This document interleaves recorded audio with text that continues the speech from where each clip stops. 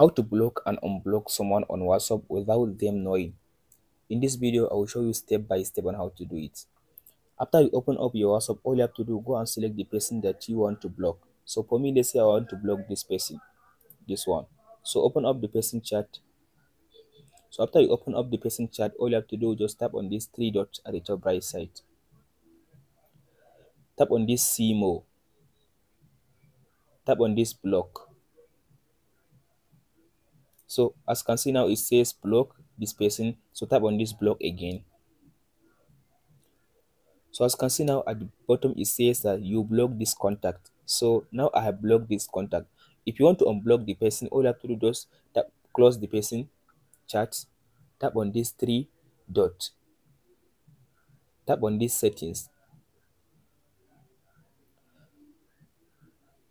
scroll to down and tap on this where it says uh, privacy. Under this privacy, scroll to down, tap on this block contacts.